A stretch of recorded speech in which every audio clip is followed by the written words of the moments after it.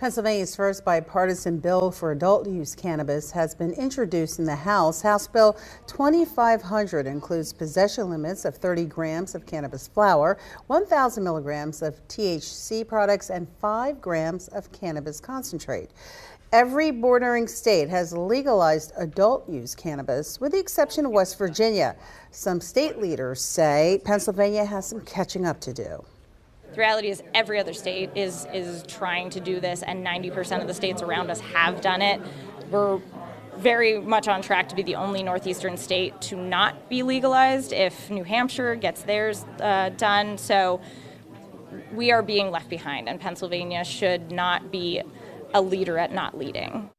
Officials say over 33,000 jobs would be created and it would deliver $420 million in annual tax revenue.